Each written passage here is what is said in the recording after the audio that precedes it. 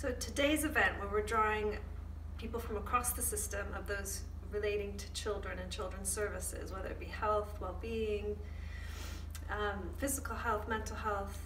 we're bringing them together into the room to talk today about how a child health network could help them deliver the services that they do in a better, more joined up way.